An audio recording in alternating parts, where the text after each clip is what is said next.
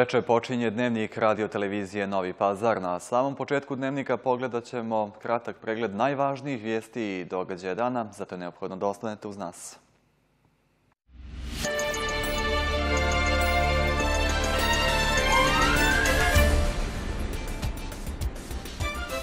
Novinar i publicista Fatmir Ali Spahić tvrdi da je primio prijetnje od dugogodišnjeg telohranitelja kao i od nekoliko bliskih saradnika Muamera Zukorlića. U Novom pazaru održana javna prezentacija o životnoj sredini i zdravlju u Srbiji. Kulturno-zabavnim programom počela dječja nedjelja u Novom pazaru. Atletičari Novog pazara ostvarili sedam pobjeda na krosu RTS-a. Utorak sunčano i toplije, najavili su meteorolozi. Novinar i publicista Fatmir Ali Spahić obratio se našoj, ali i drugim redakcijama, jer je, kako tvrdi, primio prijetnje od dugogodišnjeg telohranitelja, kao i od nekoliko bliskih saradnika Muamera Zukorlića, predsjednika Bošnjačke demokratske zajednice Sanđaka.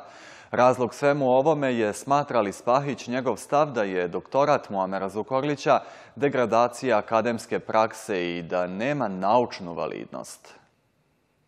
Iako sam svjesan da su mi kao piscu oduzeta građanska i akademska prava, te zavjera šutnje godinama prati diskriminaciju moje opredjeljenosti da svjedočim slobodu govora i intelektualnu nezavisnost, ja vam se obraćam u nadi da nije sve potonulo u bezdan autocenzure i jednoumlja.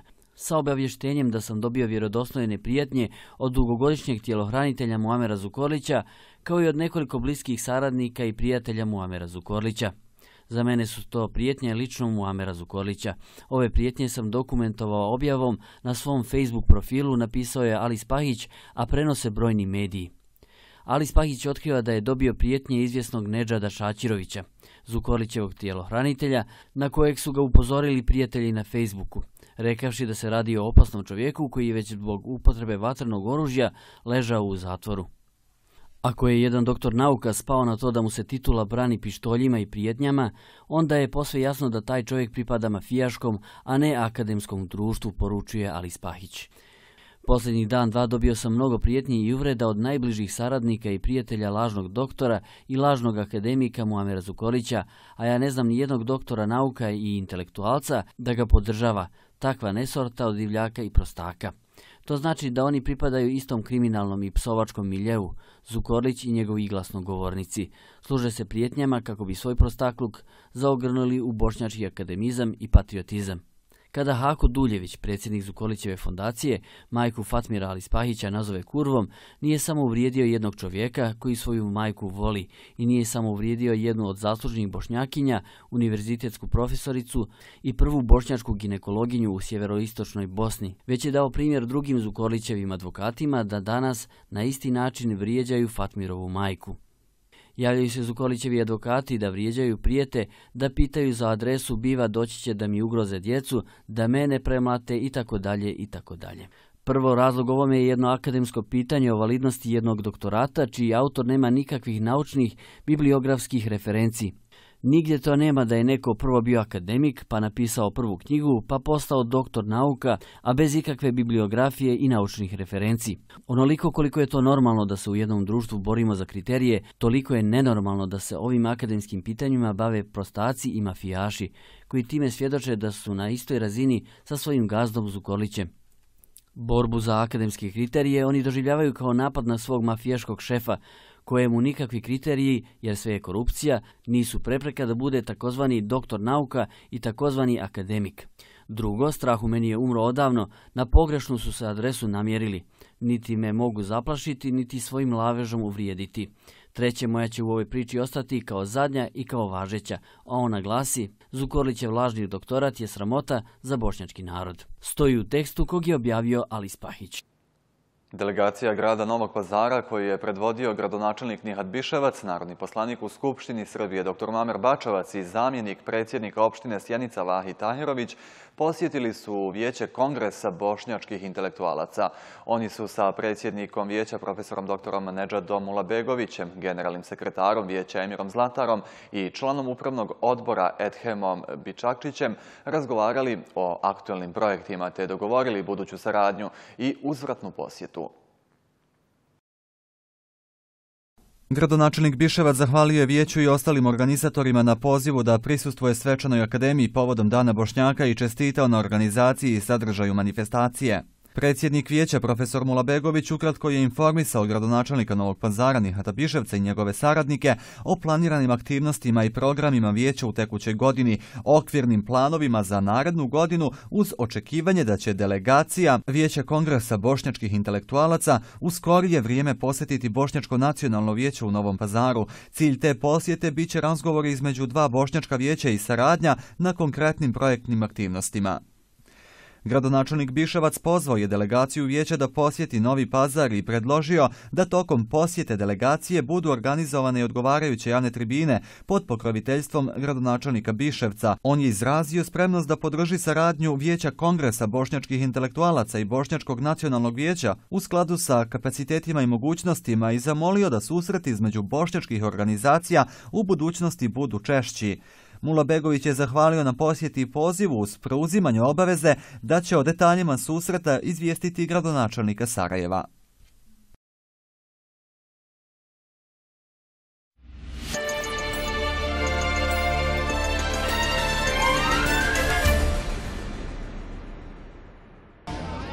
Najmlađi novopazarci su nas e, danas na lepi i svečan način ovde na gradskom šetalištu podsjetili na njihova prava. Počela je Dečija nedelja. Ja sam e, Selma Ljajić, a u dnevniku večeras donosim vam delić ove šarene atmosfere.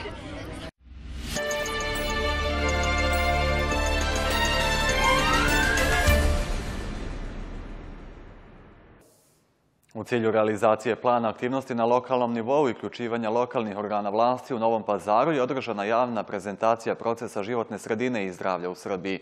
Ova radionica se realizuje uz podršku Svjetske zdravstvene organizacije i grada Novog pazara, a u saradnji sa nadležnim ministarstvima i institucijama. Prema riječima učesnika i organizatora, cilj ove radionice je upoznavanje nadležnih državnih organa, institucija i zainteresovane javnosti sa procesom životne sredine i zdravlja, aktivnostima koje su sprovedene od momenta potpisivanja Palmske deklaracije, kao i sa ulogom lokalnih institucija i organa u daljem procesu. Mi danas želimo lokalnim organima vlasti i institucijama da predstavimo proces životne sredine i zdravlja. To je jedan od međunarodnih procesa i međunarodni ugovor kojim je Srbija pristupila još 2004. godine, a poslednja ministarska konferencija koja je održana u Ostravi u junu, šesta ministarska konferencija o životnoj sredini i zdravlju, dala je neke smernice na koji način trebaju države potpisnice ovog ugovora da nastupe u narednom periodu kako bi smanjile negativne rizike životne sredine po zdravlje ljudi. Motivisanje lokalne i zainteresovane javnosti za proces donošenja odluka posebno je značajno za napredak u daljem sprovođenju ciljeva Palmske deklaracije, istakla je epidemiolog Ministarstva zdravlja doktorica Ljiljana Jovanović. Bitno je da sagledamo i na terenu, na lokalu, koji su to problemi ove sredine i šta je to što možemo, ovo što smo prezentovali, što smo radili, da pomogne da se iskoristi i da se ovde možda nešto slično uradi, da se opet dođe do nekih boljih rezultata, a sve u cilju zaštite zdravlja ljudi. Grad Novi Pazar je ovog mjeseca počeo proces i proceduru za usvajanje plana javnog zdravlja, važnog strateškog akta, a današnja radionica biće veoma važan indikator i prvi korak u realizaciji ovog projekta, istakao je član gradskog vijeća Fevzija Murić. Danas ima zaista zadovoljstvo da ovaj, e, ovdje ugostimo i predstavnike Svjetske zdravstvene organizacije, Ministarstva zdravlja Republike Srbije i Ministarstva za zaštitu životne sredine. Vi znate da je praktično životna sredina što se tiče javnog zdravlja na jedan od najvažnijih faktora koji utiče na ovaj oboljevanje. E, naš cilj, odnosno cilj ovog našeg plana je u stvari očuvanje zdravlja, promocija zdravlja i sprečavanje pojave, pojave bolesti. Zavod za javno zdravlje prati sve parametre životne sredine i prema njihovim riječima čista životna sredina je bitan preduslov za dobar i kvalitetan život.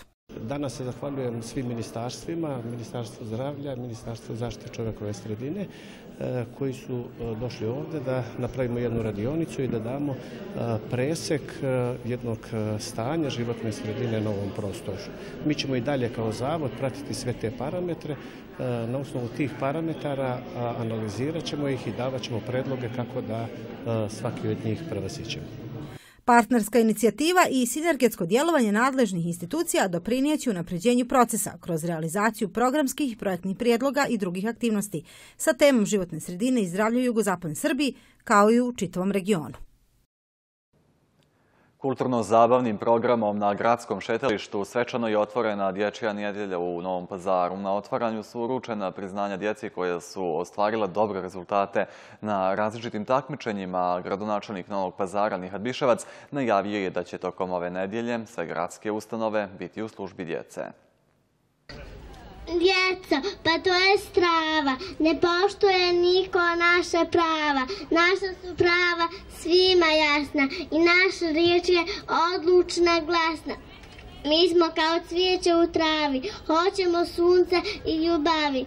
Najmlađi novopazarci su na najlepši način skrenuli pažnju na njihova prava. Igrom i pesmom pokazali su koliko su talentovani i kreativni i koliko bi svet po meri dece i za odrasle bio mnogo bolje mesto. Dečija nedelja u Novom pazaru je počela, a na početku i priznanja. Zasluženo su uručena najuspešnijim učenicima koji su u proteklom periodu ostvarili zavidne rezultate na različitim takmičenjima. Danas je, eto, videli ste, bilo ovo otvaranje kao i svake godine.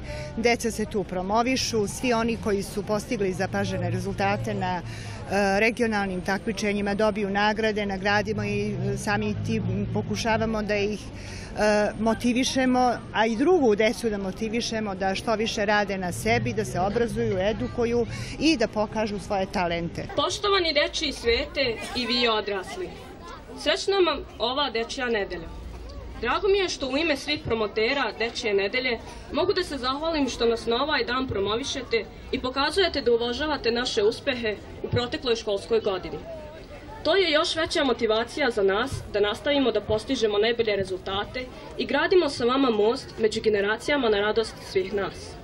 Hvala vam što ste čuvari našeg osmeha. Gradonačelnik Novog pazara Nihat Pišovac čestitao je najmlađim sugrađanima Dečiju nedelju i obećao da će tokom ove nedelje sve gradske organizacije i ustanove biti u službi dece. Sigurno da su deca najveće blago našeg grada i obaveze pre svega lokalne samouprave da u narednom periodu se trudi da obezbedi sigurno, bezbrižno i radosno detinjstvo našim najmlađim sugrađanima. Tokom trajanja Dečije nedelje realizovat će se brojne aktivnosti, a već sutra i ovogodišnji prvaci dobit će svoje drvo generacije.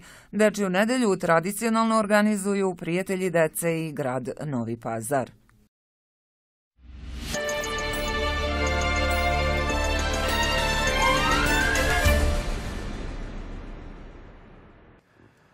Nesrećni slučajevi nikako ne smiju biti povod za stranačka prepucavanja. Stoji između ostalog u saopštenju Sančačke demokratske partije koja je osudila, kako stoji, sramne izjave i sramne optužbe na račun gradske uprave u vezi sa nesrećnim slučajem kada je sa bedama pao učenik sedmog razreda. U saopštenju se kaže da je bedem pod ingerencijama Zavoda za zaštitu spomenika i da su Zukorlićevi pokušaj da profitira na tom nesrećnom slučaju bjedniji.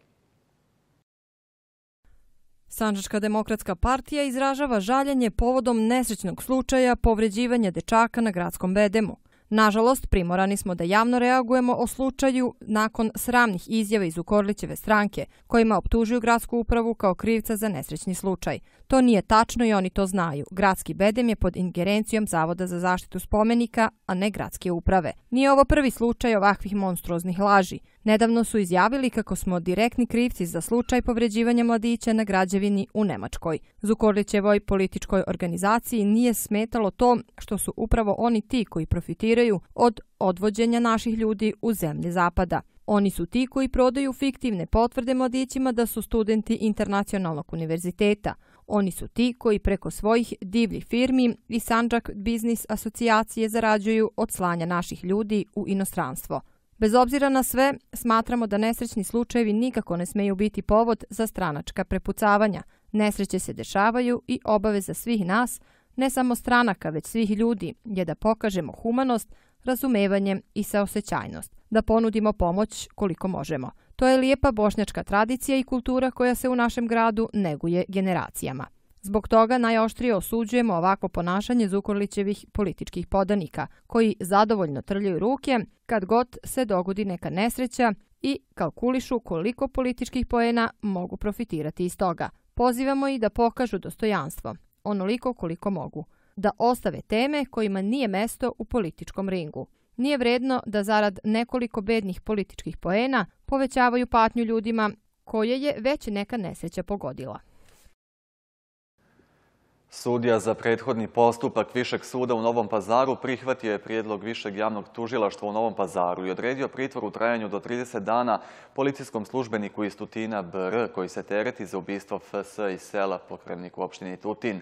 Pritvor je određen zbog okolnosti koje ukazuju da će osumnjičeni boravkom na slobodi ometati postupak uticajem na svjedoke, navodi se u sopštenju Višeg javnog tužilaštva u Novom pazaru. Također, pritvor je određen i zbog učinjenice da mu se stavlja na teret da je izvršio krivično dijelo za koje je zaprećena kazna zatvora preko 10 godina, a težina posljedice krivičnog dijela je dovela do uznemirenja javnosti koje može ugroziti vođenje krivičnog postupka. Prethodno je više javno tužilaštvo u Novom pazaru sudi za prethodni postupak Višeg suda u Novom pazaru podnijelo prijedlog da se odredi pritvor za RB a više bošnjačkih političkih partija u Sanđaku najoštrije su osudile ubistvo mladića iz Tutina. Zahtijevaju hitnu i detaljnu istragu o, o tom događaju. Za Bošnjačko nacionalno vijeće riječ je o još jednom zločinu srpske policije u Sanđaku. Sanđačka demokratska partija najoštrije osuđuje ubistvo Fahrudina Skarepa mladića iz Tutina, koji je stradao od strane pripadnika policijske uprave. Zahtevamo od nadležnih državnih organa da obave hitnu i sveobuhvatnu istragu o ovom događaju. Javnost mora znati sve detalje koji su doveli do tragedije i ukoliko se utvrdi krivica policajca, kazna mora biti adekvatna. Javnost u Sanđaku je sa pravom uznemirena. Fahrudin Skarep je mladić koji je, kao i mnogi drugi u decenijama iza nas, pokušavao da kroz trgovinu obezbedi sebi neku egzistenciju. To nije razlog da se izgubi glava. Nijedna država u svetu sa sivom ekonomijom se ne obračunava na način da ubije švercere. Nijedna država na svetu ne dozvoljava svojim policijskim snagama da ubijaju građane po svojoj volji. Upravo zato je država dužna da da odgovor na sva pitanja o ovom nemilom događaju. Istina i pravda su pravo svih nas, pa tako i u ovom slučaju očekujemo ni manje ni više od istine i pravde.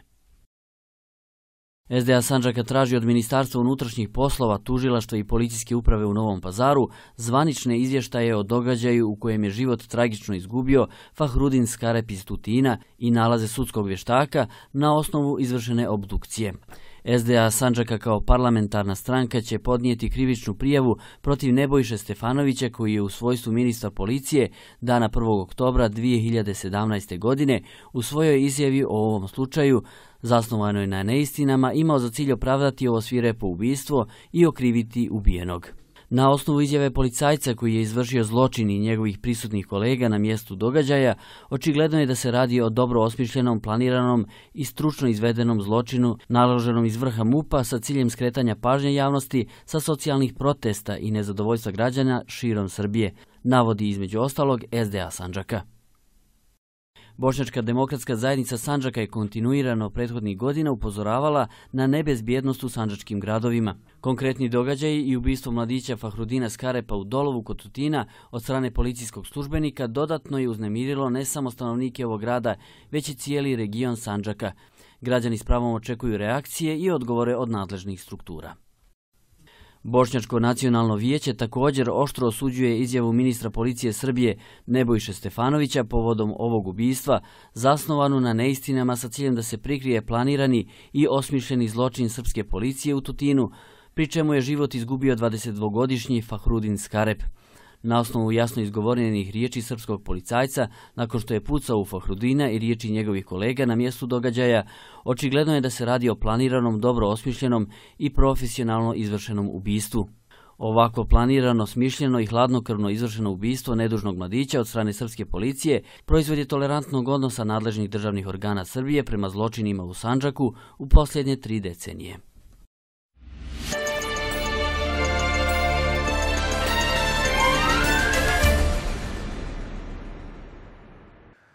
U Tutinu je oformljen opštinski odbor Sanđačke narodne partije dr. Mirsada Đerleka za predsjednika te političke partije u Tutinu. Većinom glasova izabran je Suad Kurtović, a za podpredsjednika te stranke Adnan Ređepović. Ocjena predsjednika SMP-a dr. Mirsada Đerleka je da se radi o kvalitetnom odboru koji će na prvim narednim izborima u toj opštini ostvariti odlične rezultate. Opštinski odbor Sanđačke narodne partije u Tutinu formiran je sa ciljem da se radi za opšte dobro svih građana Tutina, a naglašeno je da se opšti prosperitet može postići jedino zajedničkim radom i saradnjom. Sanđačka narodna partija je spremna na saradnju i raspolaže kvalitetnim kadrom, ocjenjuje predsjednik te stranke Mirsad Đerlek. Da bi rešavali krucijalne i te ozbiljne probleme, moramo da sedimo zajedno za istim stolom. Mi smo kao Sanđačka narodna partija već napravili jedan korak, a to je koalicioni sporazum sa ministrom Rasimom Ljajićem i partijom SDP i SDP-a. E, također bih hteo da e, sarađujemo sa opštinskom vlašću ovdje u Tutinu, e, zato što predsjednik Šemsudin Kučević uspešno predvodi ovu, ovu opštinu u proteklih nekoliko godina i mi bi samo hteli da budemo deo tog tima kako bi svi zajedno odgovorili na ono što građani Tutina očekuju od svih nas, a to je da im obezbedimo bolje uslove. Naravno da u svrhu svega toga održimo ono što je naša tradicija, kultura, a to je bošnjački identitet kako verski, tako i kulturni, a to možemo samo ako budemo široko razmišljali i ako budemo što više zajedno razgovarali. Sanđačka narodna partija će na lokalu ponuditi sve kapacitete kako bi doprinijeli rješavanju problema te kako bi se realizovali brojni projekti u interesu svih građana. Želim da zajedničkim radom i djelovanjem dovedemo u naš, naš narod u jedan bolji boljitak, u jedan bolji prosperitetni život i zajedno da rešavamo zajedno sve anomalije koje su se nataložile već dugi niz godina i želimo zajedno da gledamo bolju budućnost. Podršku novoformiranom odboru SMP-a u Tutinu pružili su i partneri iz Sanđačke demokratske partije. Cilj im je uključivanje većeg broja političkih činilaca kako bi Tutin krenuo putem razvoja i ekonomskog osnaživanja. Ja sam u ime Sanđačke demokratske partije poželeo svako dobro sreću i uspeh u radu. Vidim da je to jedan kvalitetan odbor i siguran sam da ovaj odbor zajedno sa nama da u narednom periodu ćemo biti deo lokalne parlamentarne većine u Tutinu. Iz Sanđačke narodne partije su najavili da će unutar opštinskog odbora te stranke u Tutinu biti oformljeni i Savez mladih i Forum žena. Jedino kvalitetno znanje koje se stiče trudom i velikom upornošću može vas dovesti do cilja da postanete obrazovani ljudi spremni za svoju profesiju i za život, spremni da pomognete svoje porodici, svom gradu i čitavoj društvenoj zajednici. Rekao je na svečanosti povodom prijema studenta prve godine osnovnih integrisanih akademskih studija rektor Državnog univerziteta u Novom pazaru, profesor dr. Miladin Kostić. Znanje je najveća društvena vrednost, bogatstvo koje je pojedincu, ma kakve društvene okolnosti bile, pa i kad najđu loše vremena, ne može niko da otme. Poručio je Brucošima rektor Državnog univerziteta u Novom pazaru, profesor dr. Miladin Kostić. Sila jedino ne može da vam otme znanje. Ono što budete stekli i imali, to je jedino vaše. A prestojeće vreme koje ide, jeste vreme znanja, i samo oni koji budu uspeli da akumuliraju i steknu obrazovanje i znanje, imaće mogućnosti da to lepo eksploatišu i da od toga, od toga žive.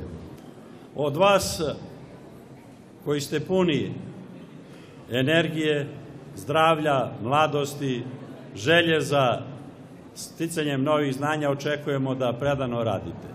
Naši studijski programi su kvalitetni, imamo savremeno opremljene laboratorije i očekuje vas redovna nastava, a od vas se samo traži da učite i vredno radite, rekao je rektor Kostić. On je podsjetio da se 60% studenta državnog univerziteta školuje o trošku budžeta i da u tu kategoriju iz redova samofinansirajućih svake godine mogu da pređu oni koji postignu dobre rezultate.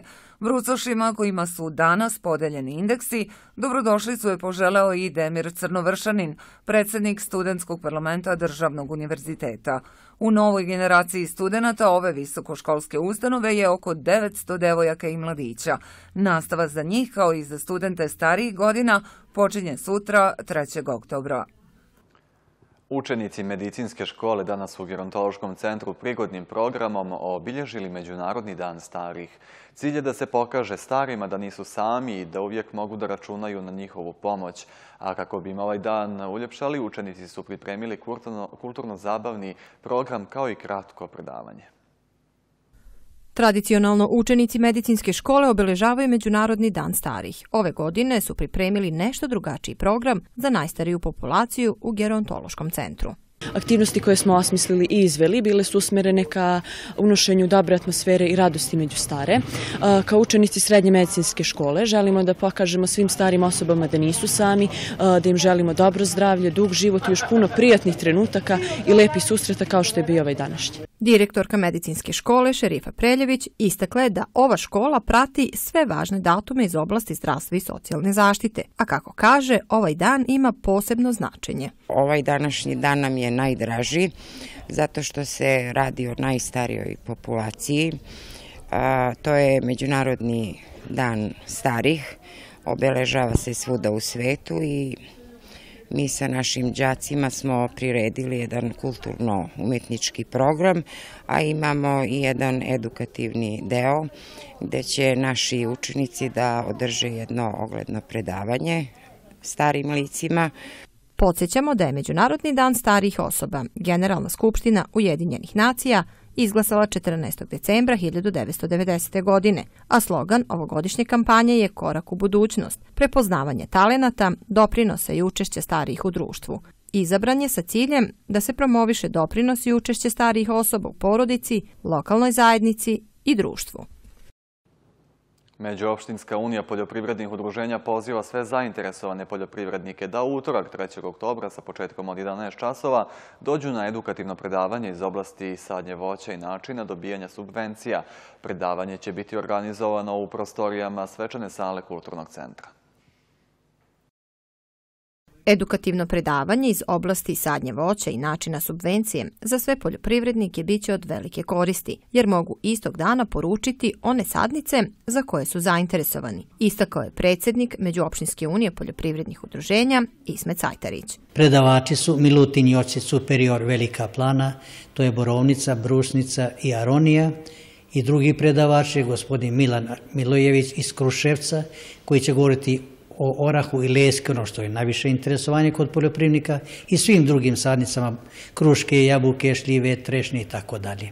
Predavač će donijeti zasade, odnosno sadnice, da pokažu poljoprivrednice da vide kakvog su kvaliteta, uzrasta i ostalog. Osim predavača, na predavanju će govoriti i savjetodavac za ratarstvo i povrtarstvo Smajle Jupović, kao i Safet Vesnić iz poljoprivredne stručne i savjetodavne službe Novi Pazar.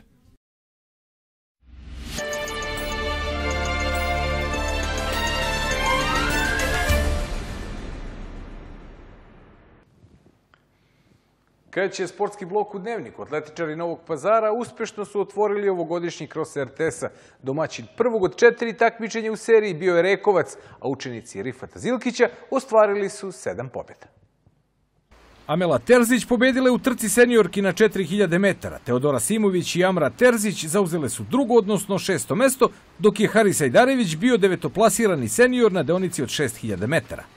Pobjede u mlađim kategorijama ostvarili su Amel Đakovac kod mlađih juniora na 1200 metara, Vahid Gicić u trci učenika šestih razreda osnovnih škola na 800 i Vanja Petrović u istom uzrastu na 600 metara gdje je Lenka Nikolić bila treća. Kod osnovnih škola triumfe su zabeležili i Sajma Murić u konkurenciji petih razreda na 600, učenik četvrtog razreda Samet Hadžić na 500, kao i Ahmet Hasanović u konkurenciji trećih razreda na stazi iste dužine.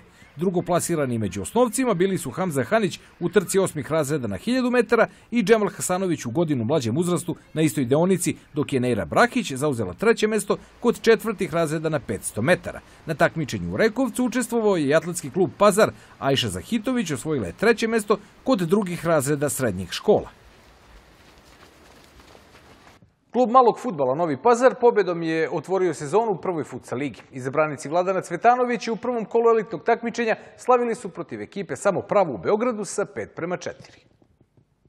Dvostruki strelac za Novopazarce bio je Novajlija i Smederev Aleksandar Pavlović u 10. i 14. minutu, dok su mrežu rivala po jednom pogodili Jovan Cvetanović u 21. Milan Mutavžić u 32. Ilhan Karišik iz kaznenog udarca sa 10 metara u 38. minutu. Domaći sastav samo jednom bio je u rezultatskoj prednosti posle gola Marka Markovića u četvrtom minutu, a isti igrač postigao je i ostala tri pogotka za Beograđane u 16., 37. i 39. minutu. Novi Pazar će u sljedećem kolu dočekati devetostrukog šampiona Srbije, ekipu Kragujevačkog ekonomca, koja je na startu šampionata savladala na svom terenu Deus Futsal iz Sremske Mitrovice sa čak 16-1. Futboleri Novog Pazara odigrali su nerešeno 0-0 protiv Teleoptika u Beogradu u utakmici sedmog kola Prve lige Srbije. Ekipa Marijana Živkovića nije postigla gol ni na drugom uzastopnom meču, ali je napredovala za jednu poziciju na tabeli. Novi Pazar ima 10 bodova, 8 manje od vodećeg Dinama iz Vranja, a u sljedećem kolu dočekaće Inđiju a rukometaši Novog Pazara imaju maksimalan učinak u Super B ligi Istog-Zapad. Oni su u meču drugog kola na domaćem terenu posle plus 2 na poluvremenu, bilo je 19-17, savladali lokomotivu iz Lapova rezultatom 37-32. Pazarce je do triumfa predvodio 11-ostruki strelac Armin Kaltak, a sledili su ga Vuk Stevanović sa 8, Zlatko Rakić s 5, Haris Mojčinović i Rejhan Arifović sa po 4 i Miloš Ilić s 3 gola. Na drugoj strani Zlatko Đurković postigao je 10, Ivan Zlatković i Uroš Dilić po 5, Marko Stojanović 4, a Miloš Mirković i Andrija Veličković po 3 gola za lokomotivu. Ekipa Novog Pazara je pobedila, ne baš tako uh, lako i jednostavno. Čestito bi igračima na pobedi, pre svega uh, ekipi Lapova, lokomotivi iz Lapova na jednoj feri korektnoj igri. Uh, danas jedino samo rezultatom mogu da budemo zadovoljni, sve ostalo je bilo onako van nekog dogovora, osjećala se neka napetost, osjećala se nešto što jednostavno nije bio tema ni dogovor za ovu utakmicu. Ostaje nam i dalje da radimo, ima puno stvari koje i dalje škripe, tako da ostaje nam samo da radimo i da iz kola u kolo uigravamo ekipu i da dajemo što bolje rezultate. U svakom slučaju čestitam na pobedi, vrlo važna dva boda, spremamo se već za naredno kolo i poželio bi ekipi Lokomotivi iz Lapova puno sreće u nastavku prvenstva. U ovom kolu Priboj je kao domaćin slavio protiv Planinke prolom vode sa 29-26, dok je Hajduk Veljko u Negotinu pobedio ekipu Zlatara iz Nove Varoši 31-26. Na vrhu tabele su Vranje 1957, Novi Pazar i Kragujevački radnički sa po četiri boda. Priboj je deveti sa dva, a Zlatar predposlednji 11. bez osvojenog boda. Novopazarski rukometaši u sljedećem kolu gostovaće Topličaninu iz Prokuplja. Vranje 1957 biće domaćin Priboju, a Zlatar ekipi Karađorđe iz Topole.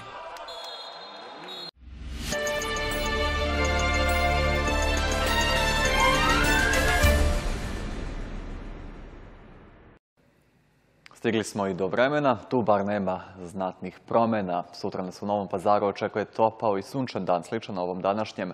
Maksimalna dnevna temperatura u Novom pazaru iznosit će 22 stepena. Polje povišenog vazdušnog pritiska u utorak će u čitavoj zemlji uzrokovati sunčano i relativno toplije vrijeme. U Novom pazaru vedro, temperatura će se kretati od 9 do 22 Celzijusa. Duvaće blag sjeverozapadni vjetar brzinom 1 metar u sekundi. U Sjenici također sunčano, ali svježije, temperatura od 6 do 19 Celzijusa, sa jačim vjetrom koji duva brzinom 2 metra u sekundi. Stigli smo do kraja dnevnika. Ukoliko ste nešto propustili, evo najvažnijih vijesti i događaje dana.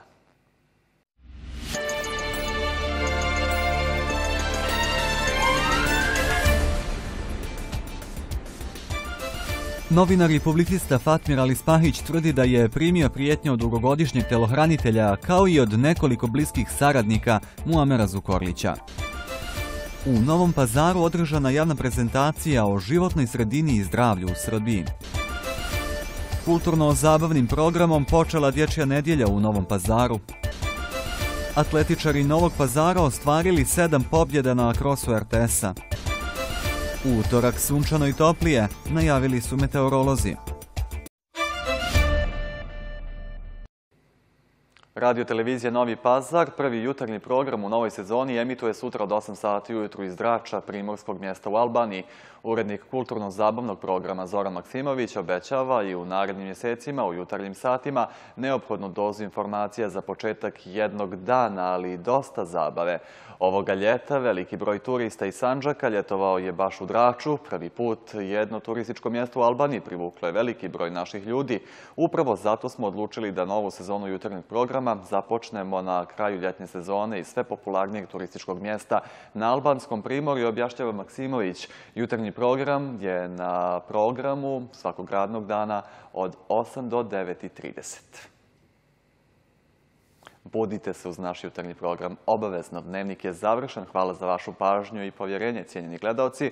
Ostanite i dalje uz program vaše radiotelevizije Novi Pazar. Sve vesti vas očekuju na našem web portalu www.rtvnp.rs